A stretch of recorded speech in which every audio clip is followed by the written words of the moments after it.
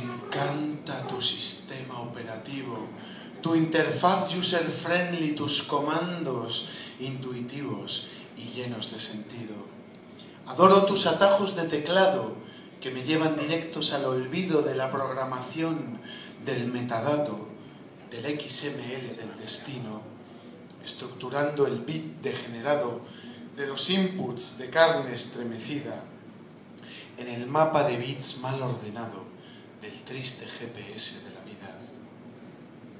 Cuando al final se llega al resultado de nuestra inteligencia colectiva, nos llevamos por wifi hasta el orgasmo.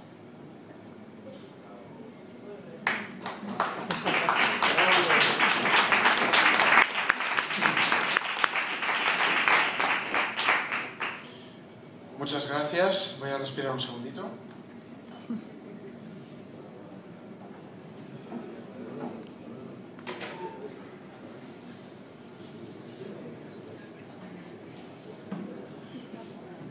Aquí es donde empieza el striptease.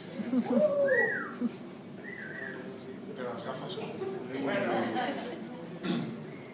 Y ahora, mis queridos telespectadoradores, tenemos que cortar el rollo literario y pasar a unos interesantísimos mensajes publicitarios, solo dos, que no querréis perderos. ¿Qué ser sin tacha? ¿Qué ontología de la perfección, voluble como el tiempo y duradera, se expande más allá de las generaciones, fideliza con solo una caricia, cuajando en cada índice bursátil, intermental y sólida, meta del canto de copywriters y diseñadores, mito de nuevo siempre, con oraciones propias, sin ser diosa, y senda hacia nosotros mejorados, la marca nos observa encarnada en sus logos avatares desde los cielos de la cartelería y las profundidades del sueño colectivo de los héroes. Caballero, cansado de su barba, de su nariz, de otras protuberancias que lo separan de sus seres queridos.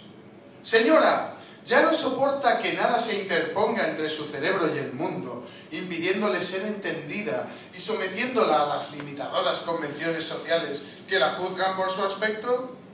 No desesperen, damas y caballeros. La solución está en su mano con las nuevas navajas de afeitar Ocam. Con las navajas Ocam todo será más simple. Corte usted su problema de raíz. Se acabaron los molestos apéndices craneales. Las navajas de afeitar Ocam dejan su cara mucho más clara. Simplifique su mundo. Afeítese con Ocam, porque comprando Ocam uno nunca se equivoca. Corra usted, señora, señor, a su ultramarinos y que no le dé corte, pida Ocam.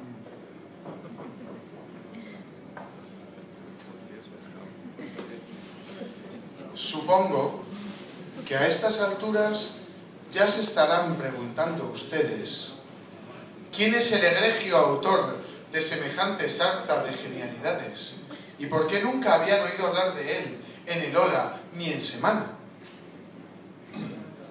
¿Qué siente? ¿Qué padece? ¿Qué lo lleva a sacar el bisturí de la lengua y cantarnos a todos las 40? Y sobre todo, ¿en cuál de los dos ojos tiene la viga? Dejemos que nos lo cuente él, con sus propias palabras, más o menos, en su autorretrato inducido. ¿Has oído la historia de ese autor polaco o alemán que dividía a la gente en tres tipos? Espectadores, víctimas, verdugos. Ah, divina adivinanza, ¿en qué grupo te metería a ti en mi interrogatorio de asustos internos? No te quedes así desconcertado, igual que una lechuga. Ya sabes que no aguanto la densidad confusa de tu mente. Tiene razón tu padre cuando dice que no te atienes nunca a tus principios de progre postmoderno y postatómico, que en sus tiempos todo era más difícil, nada que ver con estos, que tenéis cuanto pueda pagaros la familia.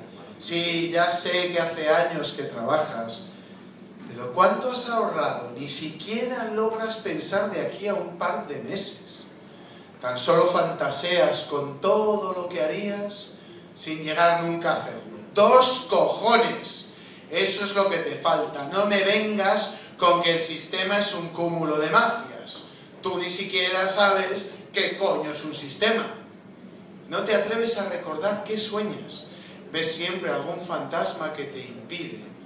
Y es tu miedo a vivir y al compromiso, a responder ante otros y te escudas en que alguien te dé órdenes, tu jefe o tu parienta, y mira en lo que estás, escribiendo palabras que son de otros, para lograr tejer una maraña que te sirva de espejo y tu mirada está ya tan cansada de leer con la nariz hundida en tus librotes, antifaces, pero sin agujeros, con los que vas por ahí interpretando tu papel de comparsa y dejas siempre todo el protagonismo al artista invitado. Es que no ves que cada vez que hablas es por justificarte o defenderte y nadie está atacando.